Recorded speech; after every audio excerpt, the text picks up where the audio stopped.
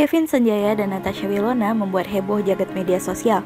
Pasalnya Kevin mengunggah foto berdua dengan pemain sinetron anak band tersebut dengan kalimat menohok. Hal itu terungkap lewat instastory di Instagram Cat Kevin Sanjaya pada Jumat 23 Oktober 2020. Seperti diketahui, desas-desus hubungan Kevin Sanjaya dan Natasha Wilona memang sempat terdengar sejak tahun lalu karena kolaborasi YouTube. Namun kabar tersebut seolah menghilang usai Wilona dijodoh-jodohkan dengan Vero Walando hingga Haris Friza.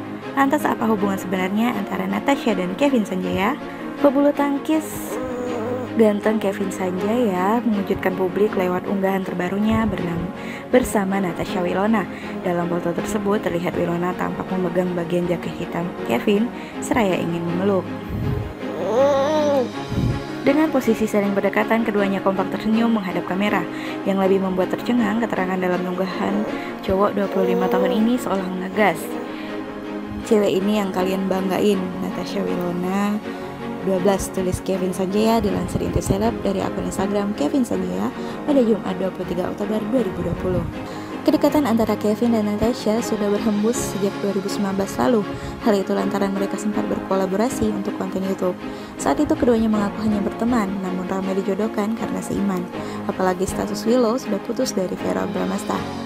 Sontak postingan itu pun banjir beragam komentar dari para warganet.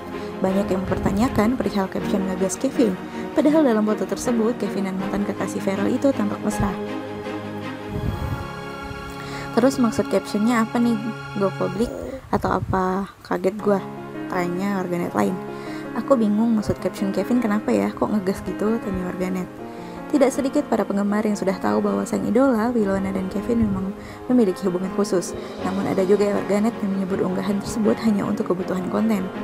Udah kuduga memang mereka udah sedari dulu ada hubungan dan demi kebaikan disembunyikan dan sudah waktunya, kata warganet. Aku nggak kaget soalnya udah desas-desus mereka sekarang LDR, ungkap warganet.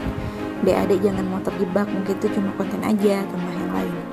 Hubungan Kevin dan Natasha mulai tercium publik pada tahun 2019 lalu. Selain Natasha Wilona, Kevin Sanjaya pernah dikabarkan dekat dengan artis lain, dari mulai Maria Serena hingga Denny Ramiraguna.